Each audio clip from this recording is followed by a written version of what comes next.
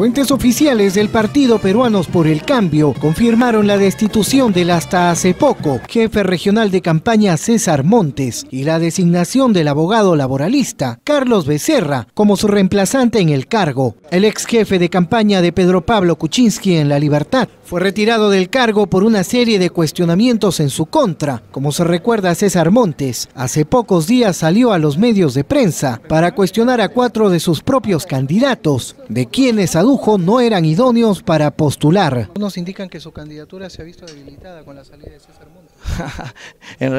en, realidad, este, en campaña de todo se puede esperar y de todo se puede escuchar. Yo eh, estoy muy contento de saber que nuestro Comando Nacional de Campaña eh, está preocupado por la, por la intención de voto y por la, el, parámetro de orgánico que maneja a nivel nacional y en realidad pues este, yo eh, felicito al, nuevo, al, nuevo jefe regional de campaña, estoy totalmente predispuesto a apoyarlo como, como candidato al Congreso. Antes de estas criticadas declaraciones, los postulantes de Peruanos por el Cambio lo acusaron de impulsar únicamente la campaña del candidato Alex Castillo. Señor César Montes, solo lo apoyaba usted. No, no, no, no, aquí hay que aclarar una cosa. Lo que pasa es que nosotros, como candidatos y como dirigentes que hemos sido en su momento, conocemos la realidad de nuestra región.